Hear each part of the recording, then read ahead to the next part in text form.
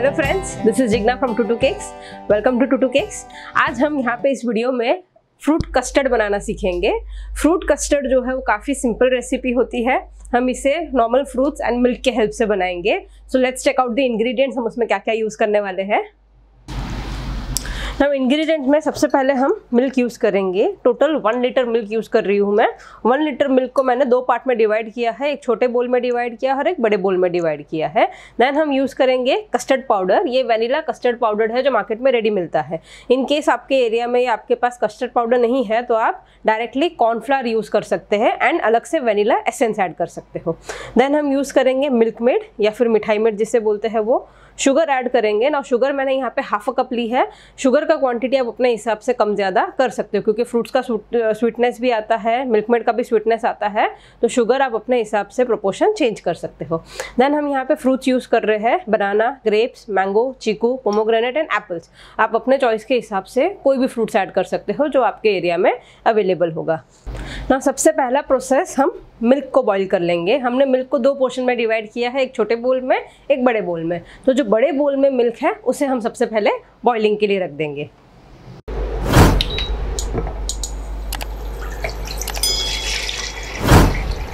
ना मिल्क हमने ऐड कर दिया है अब मिल्क को बॉईल होने देंगे तब तक।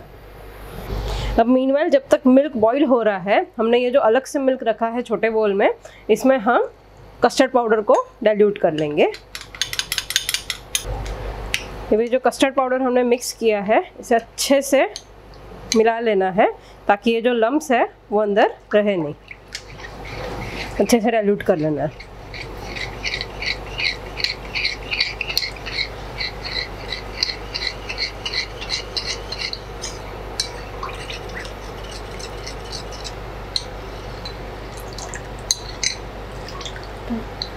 अब ये कस्टर्ड पाउडर अच्छे से मिक्स हो चुका है। अब हम मिल्क के बॉईल होने तक का वेट करेंगे। मिल्क हमारा बॉईल हो गया है। अब हम इसमें शुगर ऐड करेंगे। शुगर का क्वांटिटी आप अपने हिसाब से कम ज़्यादा कर सकते हो। शुगर डिज़ोल्व हो जाएगी, फिर हम इसमें मिल्क मेड ऐड करेंगे। मिल्क मेड कंपलसरी नहीं है, थोड़ा टेस्ट एनहेंस कर देता है। आपके पास अगर नहीं है तो आप स्किप भी कर सकते हो मिल्क मेड ऐड करना। शुगर हो गई है डिज़ोल्व अब मैं इसमें मिल्क मेड ऐड करूँगी।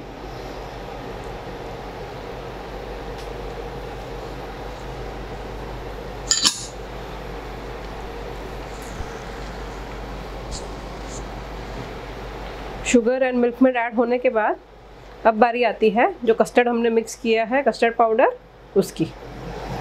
तो कस्टर्ड पाउडर जब भी मिक्स करते हैं, उसे ऐसे ठंडे दूध में मिक्स किया जाता है, अलग से।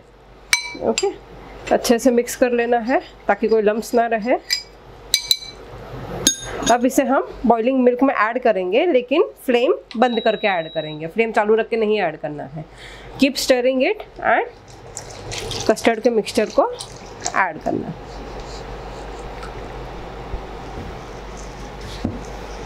है अब अगेन फ्लेम को ऑन करेंगे, लेकिन लो फ्लेम पे।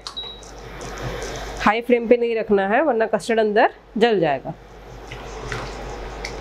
और इसे कंटिन्यूसली स्टर करते रहना है। थोड़ा सा मिल्क गाढ़ा होने देना है। ना ये कस्टर्ड पाउडर वनीला फ्लेवर्ड था, इसलिए इसमें येलो कलर है। आप डायरेक्टली कॉर्नफ्लावर यूज़ करोगे तो उसमें येलो कलर आप अलग से ऑप्शनल ऐड कर सकते हो। मिल्क थोड़ा थोड़ा सा थिक होने लगेगा। एंड कस्टर्ड पाउडर कुक भी हो जाएगा। लेकिन ये जो कुकिंग प्रोसेस है, ये स्लो फ्लेम पे करनी है। फास्ट पे करोगे तो नीचे कस्टर्ड चिपक के जल जाएगा।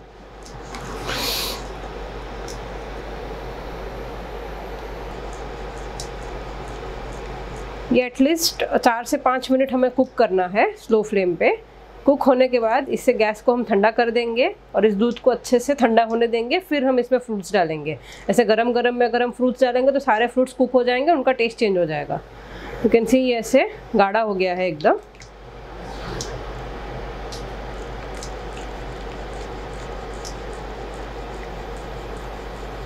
अब हम ये फ्लेम बंद कर देंगे। एंड इस मिल्क को ठंडा होने देंगे। एक around ten to fifteen minutes लगेगा रूम टेम्परेचर पे आ जाएगा। फिर हम इसमें फ्रूट्स ऐड कर देंगे। ये मिक्सचर अच्छे से ठंडा हो गया है रूम टेम्परेचर पे आ गया है। अब हम इसमें सारे फ्रूट्स ऐड कर देंगे। आप अपने चॉइस के कोई भी फ्रूट्स ऐड कर सकते हो। क्वांटिटी भी इंटरचेंज कर सकते हो। आपको कोई फ्रूट ज़्यादा पसंद है तो उसका क्वांटिटी ज़्यादा रख के, बाकी कोई फ्रूट कम पसंद है, उसका क्वांटिटी कम ऐड कर सकते हो। हमने यहाँ पे ऐड किया है मैंगो अब मैं ऐड कर रही हूँ चीकू। देन मैं ऐड करूँगी pomegranates then apples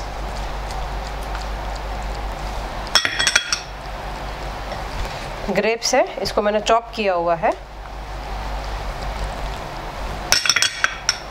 and finally bananas